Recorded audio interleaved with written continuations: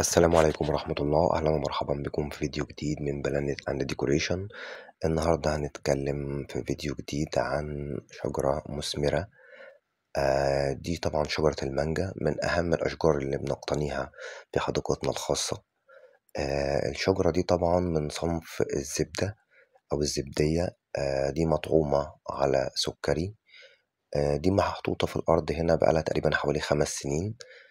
الشجرة دي كانت بتعاني من شوية إصابات منها البق الدقيقي وابتدينا نعمل لها برنامج علاج وهنشوف التفاصيل دي مع بعض. أنا حابب إن أنا بس أوضح في بداية الفيديو إن الفترة دي أنا مصور لكم حوالي تقريبا عشر أيام أو أهم أو من أهم عشر أيام في دورة حياة الدورة السنوية لحياة شجرة المانجا. ده اليوم الأولاني طبعا ده بعد نهاية إن إحنا بنشيل الثمار تقريبا بحوالي عشرين يوم ابتدى ده يحصل. آه هي كانت أول سنة للتبشير دي السنة اللي فاتت أثمرت ثمرة واحدة بس وابتدينا أهو ده اليوم التاني. طبعا إحنا في اليوم التاني ده إحنا بنفضي قلب الشجرة عشان الشجرة تبقى مضيئة عشان نقلل الإصابة لأي حشرات أو أي أمراض بكتيرية أو فيروسية آه الشجرة زي ما إحنا شايفين إحنا فتحنا قلب الشجرة وفرغناها من فوق. أهو ده اليوم التالت ابتدت طبعا النموات الخدرية ابتدت أهي تظهر أما إحنا قلمنا الشجرة وسيبنا الأطراف بس بتاعت الشجرة هي اللي تنمو عشان تدينا حجم أفضل وتدينا إنتاج أفضل.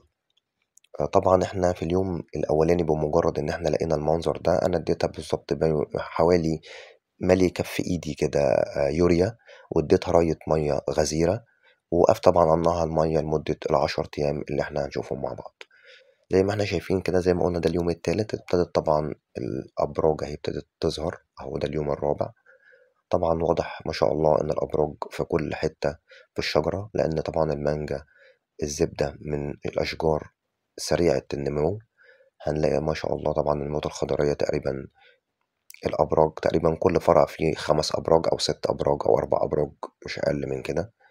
طبعا هي الشجرة كانت تعبانة إحنا طبعا قلمناها شلنا كل الجذوع اللي ملهاش لازمة معانا أو اللي فيها إصابات أو اللي هي نموها بطيء عشان ندي مساحة أكتر للنموات الجديدة.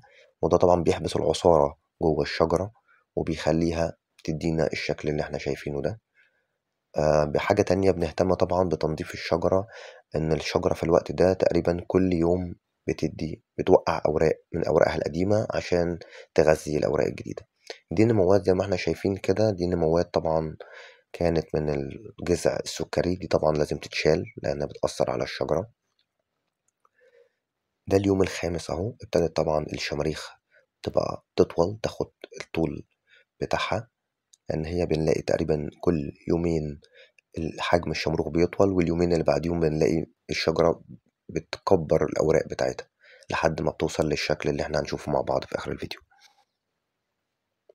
وطبعا من مميزات ثمار المانجا إن هي الثمرة بتاعتها بتنضج وهي خضرة غزيرة الإثمار طعمها حلو من أفضل أنواع المانجا في العصير.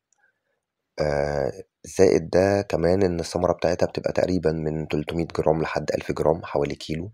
فطبعا ده بيبقى شيء كويس. دي الأوراق الصفراء هي اللي بتبدلها الشجرة تقريبا كل يوم.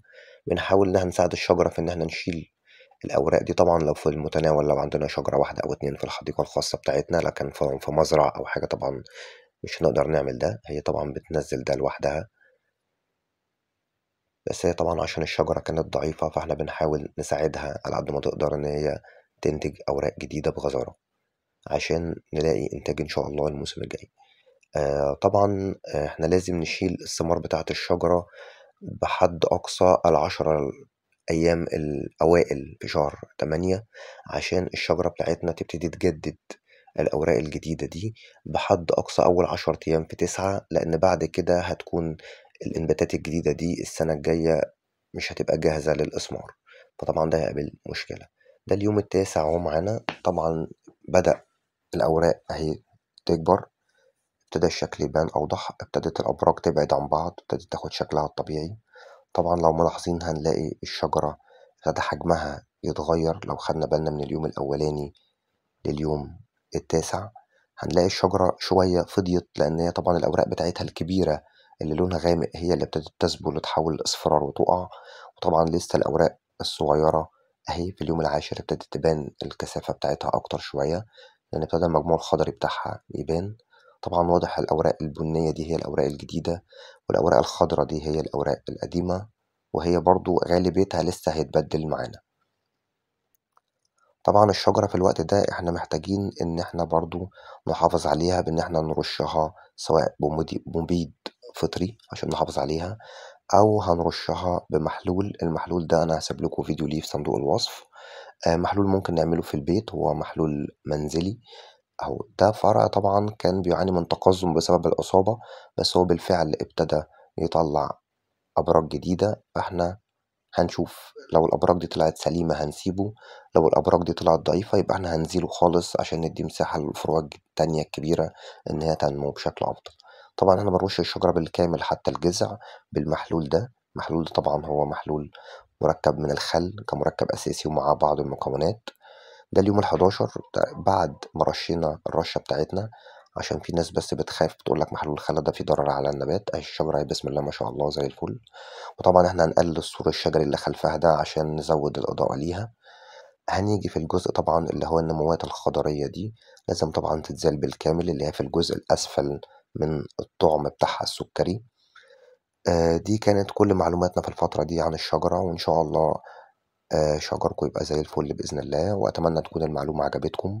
ما تنساش تعمل like تعمل subscribe فعل زر الجرس ليصلك كل جديد في القناة.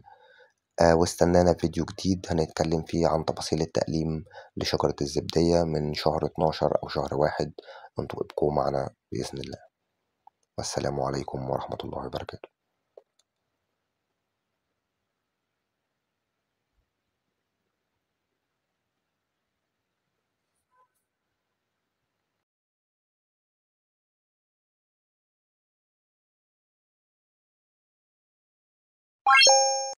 you